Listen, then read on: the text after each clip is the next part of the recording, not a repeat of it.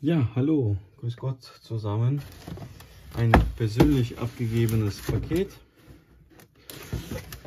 Der ähm, Auftraggeber hat sogar ein frisches ähm, Päckchen besorgt, gekauft. Ist eigentlich nicht notwendig. Es langt auch ein Schuhkarton. Wir haben hier einen V11. Uiuiui.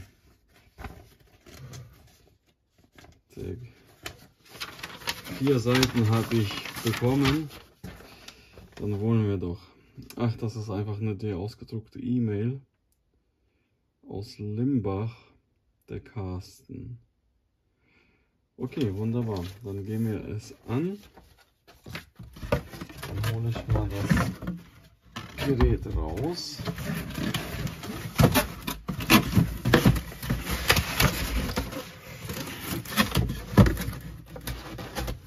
So, das kommt zur Seite. Dann haben wir noch unsere Unterlage.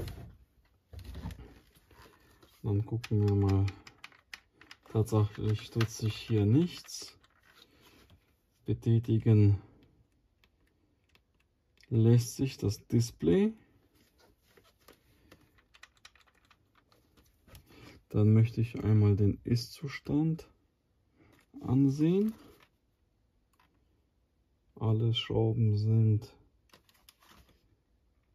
drinne. Ja gut. Die Beschädigungen sind hier vorhanden, aber jedoch minimal. Der Handgriff ist nicht geplatzt oder gesprungen. Der Kolben, der Saugbehälter sieht auch noch intakt aus. Gut, lange Rede, kurzer Sinn. Dann gehen wir es mal an. Der Filter ist frisch. Einen neuen braucht man nicht anzubieten. Dann kommt erstmal der Akku raus. Ich gucke mal, ob ihr das alles erkennen könnt. Ja. So, Akkuschraube 1. Akkuschraube 2.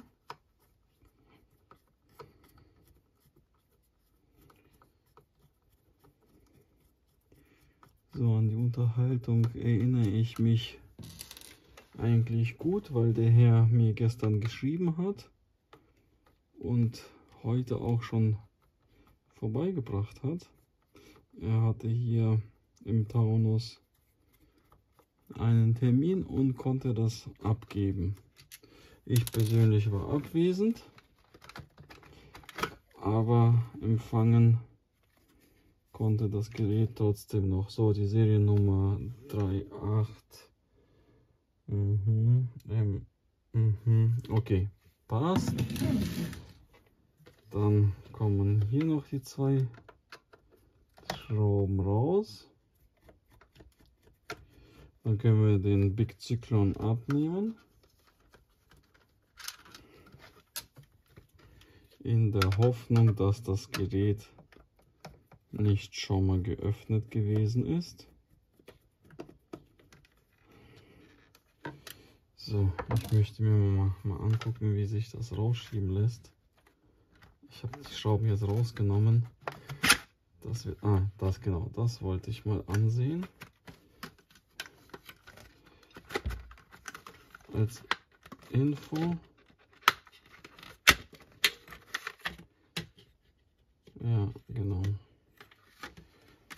hat das Gerät ordentlich gereinigt. Vielen Dank hierfür. Auf jeden Fall ist das eine sehr gute und angenehme Arbeitserleichterung. Ein weiterer Vorteil ist, dass das Gerät ähm, nicht verschmutzt wird bei der Lieferung. So, das tun wir hier auch ab.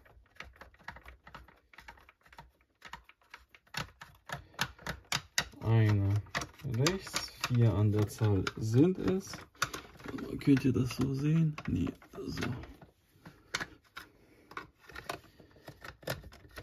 Hier wäre dann die zweite. Der Kasten, der Carsten hat mich auch durch YouTube angeschrieben. Übrigens, wenn ihr Fragen habt zur Reparatur oder zu allen anderen Fragen, wo ich helfen kann, schreibt diese in die Kommentare. Ihr könnt auch die E-Mail nutzen, die in der Beschreibung angegeben ist. Ansonsten antworte ich gerne, wenn ich irgendwie behilflich sein kann. Setzt ruhig eure Fragen rein. Das pinsel ich mal ab.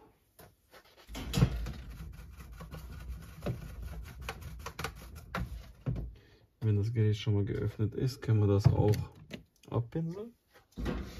Und ja, solltet ihr Fragen haben zur Reparatur oder andere Fragen, gerne E-Mail-Funktion Kommentar nutzen.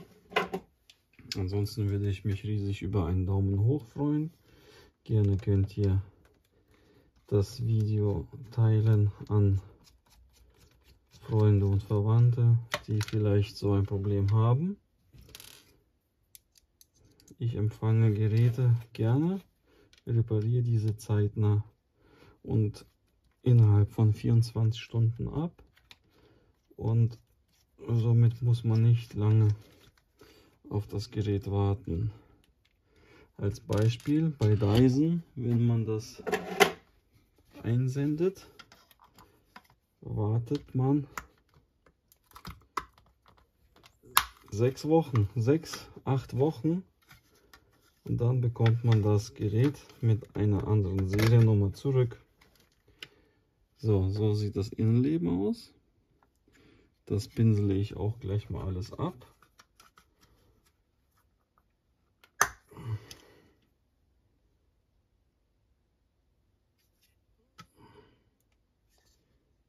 Hier haben wir den Deckel abnehmen können.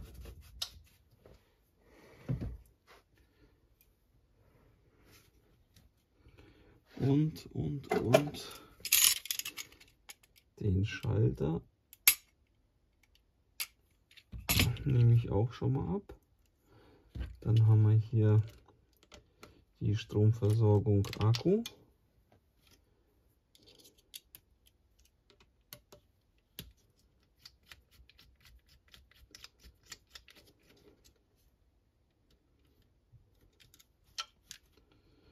Eins, zwei, Versand. Ich, der Carsten hat das jetzt vorbeigebracht, weil er einfach hier in der Nähe war. Das ist alles schön und gut, das kann man auch so tun. Aber ich persönlich stelle mir dann die Frage, wie viel Zeit muss ich für die Fahrerei aufwenden? Wie viel Sprit kostet mich das? Und ist das im Verhältnis? Als Information, Hermes Päckchen kostet 5,90 Euro oder 99 und ist, ist innerhalb von zwei, drei Tagen in der Regel auch angekommen. Und da muss man sich persönlich die Frage stellen, was ist einem Mehrwert? Das Fahren und persönlich abgeben, was okay ist und auch die Regel und oft gemacht wird. Oder man versendet es und ist ja sowieso dann innerhalb von 24, äh 24 schon zwei, drei Tagen angekommen und repariert innerhalb von 24 Stunden. Und somit ist das ja auch, ich sag mal, allen Parteien geholfen. Da braucht man nicht lange zu fahren. Und repariert wird es ja immer noch, weil ich bis spät in die Nacht arbeite. Ich habe mal ein Gerät repariert, es war 3 Uhr morgens. Hin und wieder ist es so, dass ich nachts einfach in die Werkstatt steige, löte, schweige, äh, schweige, ja, schweigen sowieso, schweiße oder auch ähm, löte, schweiße, Schraube, genau, Schraube, das Wort hat mir gefehlt. Und dann erledige ich diese Arbeiten, die mir einfach gut tun. Und dann fahre ich zu der eigentlichen Arbeit. So. Tadadam, hier kommt jetzt der Schalter. Und siehe da, die bewährte und bekannte Bruchstelle. Für den Kasten werde ich jetzt eine verstärkte Version einbauen. Übrigens für alle, die ähm, entsprechend wenig Ahnung haben oder sich mit dem Thema nicht auseinandergesetzt haben. Das ist die erste Generation an den Schaltern. Das ist die dritte Generation von den Schaltern. Da gibt es noch eine zweite Generation. Ich blende euch, wenn ich das Bild finde, jetzt in das Video ein. Und online bekommt man diese dritte Generation nur selten. Bei eBay, Amazon ist das fast unmöglich.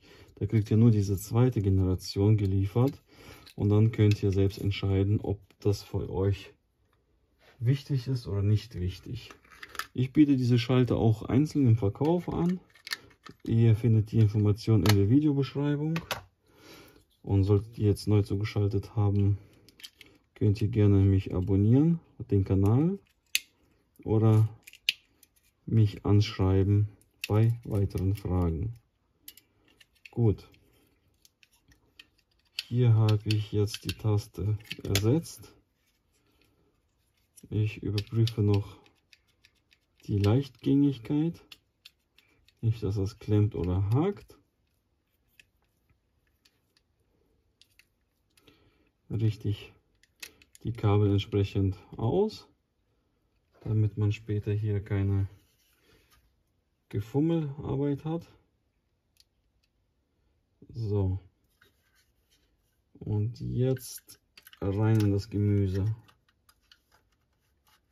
Wunderbar. Wunderbar. So, dann drücke ich das hier an und wird auch gleich verschraubt. Seid achtsam bei dieser Verschraubung vom Schalter. Hier kann es gerne brechen. Das heißt, wenn ihr hier oben drückt, kann es hier unten schon gebrochen sein. Also nicht bis zum Ende wie verrückt hier drücken, einfach in die Reparatur senden und sich einen neuen Schalter einbauen lassen. Gut, das ist erledigt. Dann kommt hier die Kabelbrücke rein. Die Kabelbrücke setzen wir genauso rein, wie die auch demontiert worden war. Ich gucke gerne mal auf das Display, ob die Aufnahme läuft. Und tatsächlich ist das auch so. Und dann bin ich auch beruhigt. Oft ist das so, nämlich so, wenn man die Kamera laufen lässt, dass das dann entweder falsch eingestellt ist und nicht ordentlich mitfilmt oder Momentchen. So das hier ist es wichtig zu beachten dass hier die Kabel ordentlich in der Führung sind und nicht geklemmt oder gequetscht werden. Dann haben wir hier noch die Nasen, die natürlich hier mit einsetzen und dann die Schrauben mit einführen. Ähm, was habe ich gerade gesprochen? Oh, das weiß ich jetzt gar nicht mehr. Okay, wir verschrauben jetzt den Kabelkanal. So, ich hatte gerade hier einen Besuch. Da schalte ich die Kamera gerne aus. Den Kabelkanal habe ich schon festgeschraubt. Jetzt kommt der Motor rein. Grundsätzlich, ich habe hier ungefähr, ich weiß nicht, in den letzten zwei, drei Monaten vielleicht 40 Geräte repariert, wo die Leute einfach hier den Schalter abgebrochen hatten oder auch hier die Stromversorgung und sich dann an mich gewandt haben. Grundsätzlich erledige ich das gern. Aber auch hier eine kleine Information. Solltet ihr da wenig Ahnung haben, am besten nicht angehen, weil es könnte etwas teurer werden, als nur den Schalter zu ersetzen. Und deswegen rate ich davon gerne ab, wenn man nicht so die Ahnung hat. Ich schraube schon, ich sag mal, an den Elektroeinheiten, Platinen seit meiner Kinderzeit und bin damit aufgewachsen. Habe das auch irgendwo gelernt. Und aus dem Grund kenne ich die ganzen Schalter, Schalteinheiten, Konsidatoren etc. pp. aus dem FF. Ich habe schon Radios zusammengebaut von null auf an Satelliten Reservern geschraubt, die entsprechend auch programmiert und Frequenzen installiert. Aus dem Grund, wenn die Schraube los da ist, auf jeden Fall könnt ihr das machen, wie ihr wollt. Sollte das bei euch nicht funktionieren, könnt ihr euch gerne an mich wenden. Ich repariere euch die Geräte gerne. Und gewissenhaft. Alle Arbeiten sind legal mit Sozialabgaben und Versicherungen. So, das war eine kleine Werbung in eigener Sache. Jetzt kommt die Versorgung von der Schaltereinheit. So, weiterhin schaue ich immer, dass hier nichts gequetscht ist oder nichts lose rumschwabbelt.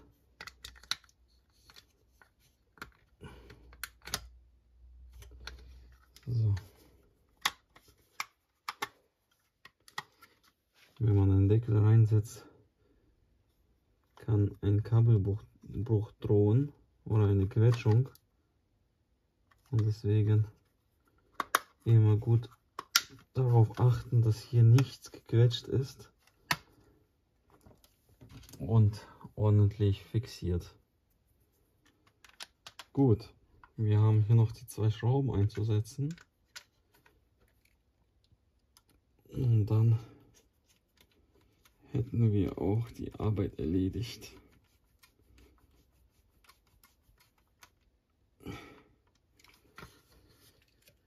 Zeige euch mal, ach ihr seht das hier, zum Beispiel hier bei diesem Gerät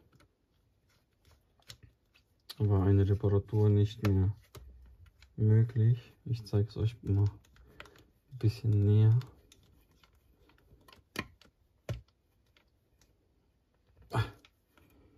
Klar, die Geräte durchlaufen so einiges in der Arbeitswelt, aber das habe ich noch nie gesehen.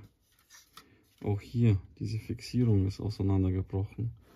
Das heißt, was man hier zum Beispiel sieht, ist hier ganz anders und größer. Aber gut, alles in Ordnung. Das ist ja ein Arbeitsgerät und damit wird, damit wird gearbeitet. Gut, der Zyklon wird jetzt eingesetzt.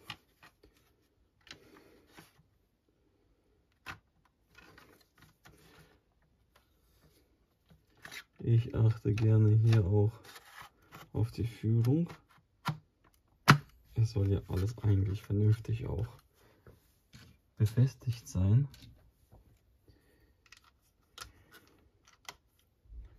Und das wird hier auch gewährleistet. Ups. So, das sind die letzten zwei von sechs Schrauben. Nach fest kommt ab. Auf jeden Fall das nicht vergessen.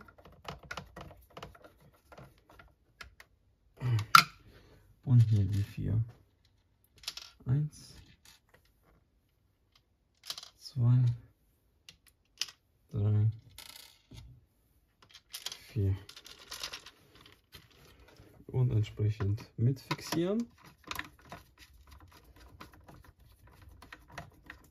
Mich wundert, dass der Filter frisch ist.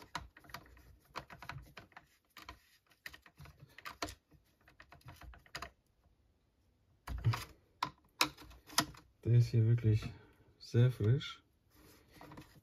Normalerweise achten die Leute gar nicht drauf.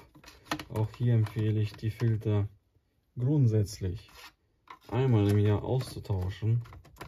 Natürlich je nachdem wie viele Arbeitsstunden man hat. Weil die Dinger, die kosten nicht viel. Die kosten 15, 20 Euro. Wichtig ist eigentlich dabei, dass der Motor entsprechend gereinigt wird. Und so ein Filter kann diese Aufgabe sehr ordentlich erfüllen. Gut, jetzt haben wir hier den Akku. Alles ordentlich und achtsam reinsetzen. Eine Schraube und die zweite.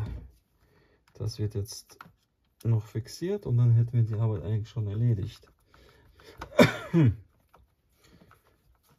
So, habt ihr neu zugeschaltet zu diesem Video? Könnt ihr gerne den Kanal abonnieren. Abonnieren ist bei YouTube kostenfrei. Und falls ihr eine Reparatur interessiert seid oder es durch mich machen lassen möchtet, könnt ihr gerne das Gerät mir zusenden. Die E-Mail habt ihr auf jeden Fall in der Beschreibung. Die setze ich da rein und schreibt mich an. Ihr könnt auch gerne telefonieren. Und eine Reparatur ist innerhalb von 24 Stunden erledigt. Mich erreichen einige Päckchen. Aus diesem Grund sage ich immer wieder gerne, legt einen Zettel mit euren Daten und auch eine Rufnummer rein. Und dann ist alles in Ordnung. Gut, die Reparatur ist jetzt zu Ende. Wir gucken, dass es funktioniert. Das Display lässt sich hier schon betätigen. Also haben wir eine vernünftige Stromzufuhr. Und hier ist der Schalter.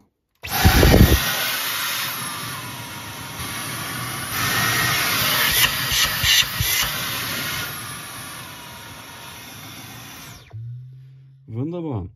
Auch diesmal eine gelungene Arbeit.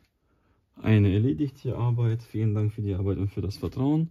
Ihr könnt auf jeden Fall einen Daumen hoch setzen, eure Meinung drunter und bis zum nächsten Video. Alles Gute euch, bleibt gesund, bis demnächst.